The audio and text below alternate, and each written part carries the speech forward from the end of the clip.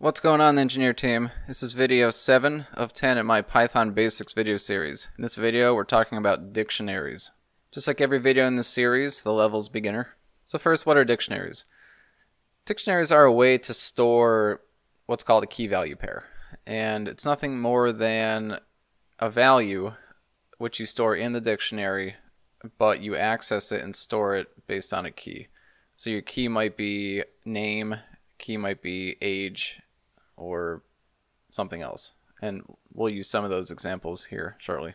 So we'll talk about how to initialize dictionaries, how to add, access, change, and remove items from dictionaries, and how to iterate over a dictionary. You'll notice that dictionaries and the lists are kind of similar. Initializing a dictionary is very simple. Simply type your variable name. So I'm going to use my DIC, short for dictionary, an equal sign, and then curly braces. So now that I have my new dictionary, I'm going to start adding items to it.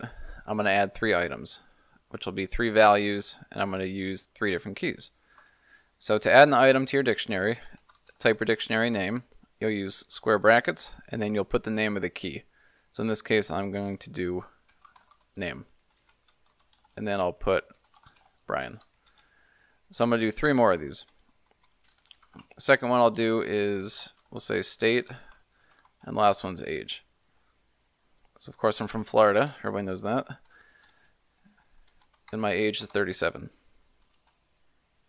So now I have a dictionary and I will output that dictionary just so you can see what that has in it.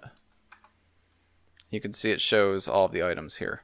If you want to access an item in a dictionary, it's kind of like adding it, but without the equal sign and the value.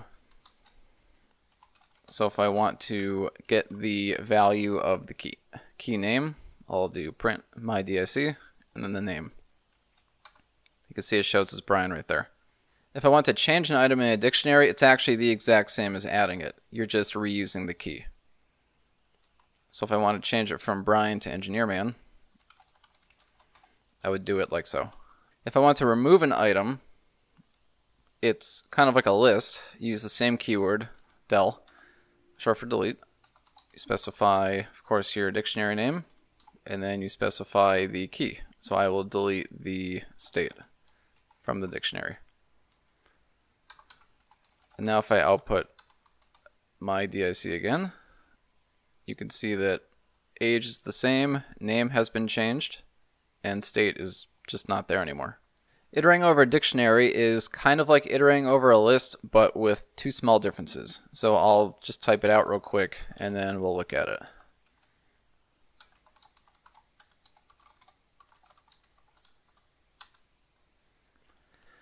So you'll notice two differences. First, I have k comma v, and that's basically short for key comma value. And that's because unlike a list, we both have a key and a value.